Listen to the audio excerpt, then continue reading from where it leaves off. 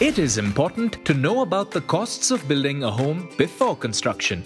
Let's understand the stages of construction, their timelines, and division of expenses. This division can change according to your needs.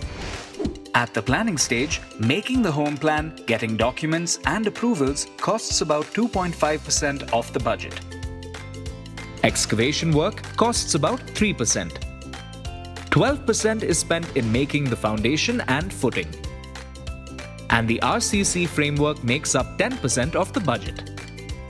The slab and roof costs make up 13%, and the brickwork and plastering costs amount to 17%.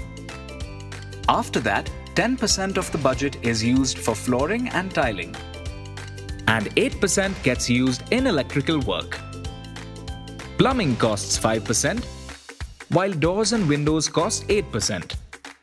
Painting and finishing cost 6% and 5.5% respectively.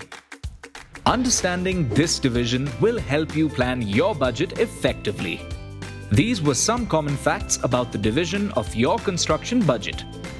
Visit www.ultratechcement.com. Keep watching Baat Ghar Ki by Ultratech.